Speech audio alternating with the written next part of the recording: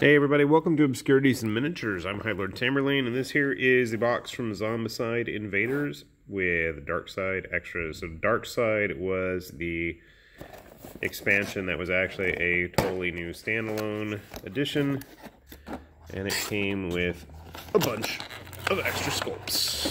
Ugh. So let's see what we got here. First of all, we have the Operation Persephone, which has 10 missions combining Invader and Dark Side. So it's got the rules for the Scientist Companions in there. I was wondering about that, how to use the crossover cards. The Driller Blitzers. Huh, I thought they were actually in the game, but I guess not. So we've got the whole rules set up here, special rules as well. A reminder of how to play. But you guys don't care about that. What you really care about are the models themselves. Where are the blitzers? I believe that is a blitzer, is it not? Let's take a look closer. It would have probably helped if I went back and actually looked at the web page of the Kickstarter itself, but I didn't. so that's not the most helpful. Oh well.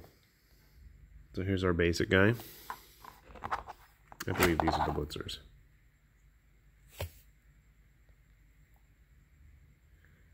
Solid detail. I like these guys a lot more than the ones in the base game, but the ones in the base game are actually starting to grow on me too. I'm not sure what that is. I probably should have really looked at the actual game. I haven't even pulled it out yet. We'll get to it. The lurker, the runners, or whatever they are. And then we have the big abomination alpha, whatever. I don't like the tongue. I think it looks silly. I also don't like its little arms, but that's just me being picky. And I guess I was a little bit spoiled with some of the other more recent alien models we've seen, like with uh, Nemesis and things like that. On the other hand, I do like the runners and the blitzers. I think those guys look pretty cool. Did we grab them all? Oh, no, I forgot this thing. I have no idea what this guy is. One of the other models. So those are all of the new alien sculpts. We get about four or five of each, with the exception, obviously, of the big mutant alpha abomination thing. But then we also have the scientists. So I'm kind of curious how they're going to play. Not the most exciting of models. We have the old lady with a gun and a big backpack. And She's huffing it. We have old man holding his pants up. Reminds me of Vincent Price for some reason. Not Vincent Price and Peter Cushing. And then we got the cool guy. He doesn't look like a scientist at all. How do they look compared to some of the other models we might have laying around? Well, let's grab a couple of Mantic and GW models with our ever-present Marine. I also grabbed a couple of heroes from Star Saga. So if you were looking to supplement that, that might be an interesting take you have yourself a whole new set of aliens. Besides the Star Saga models, I thought what might be a fun use for these things would be as Otherworld Invaders, perhaps for Shadows of Brimstone.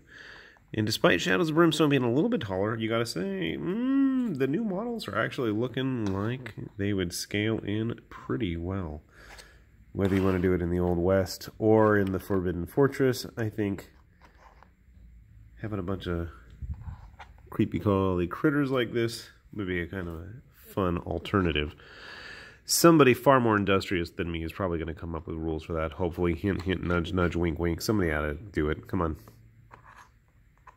It just seems like so ripe for, you know, fighting swarms of xenomorph type aliens. So, an idea. Toss a couple other GW models in there just to give you guys a good sense of scale. Our heroes are going to match up pretty good. Obviously, we want stuff like our Chaos Marines to be a little bit bigger. But yeah. So sculpt-wise, looking nice. We have not a whole lot of variety in terms of the poses, but you know what? I mean, they're aliens. It doesn't really matter, and they're kind of cannon fodder types. I think these are the two of the same basic grunt models anyway. So I'm eager to try out the game.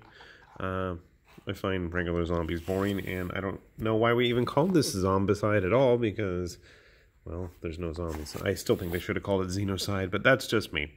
So hopefully, if you're curious about what you got, if you went ahead and got the Dark Side extras, this is what you can expect. So, with that said, this is High Lord Tamerlane with Obscurities Miniatures, saying see you later, and let's get to playing. Bye-bye.